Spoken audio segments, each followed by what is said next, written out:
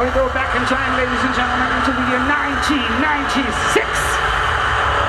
This is the Steel Tormentor.